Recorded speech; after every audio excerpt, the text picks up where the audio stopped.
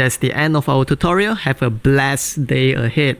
And if you like what we do here, please leave a like, comment, subscribe and share the video. Thank you.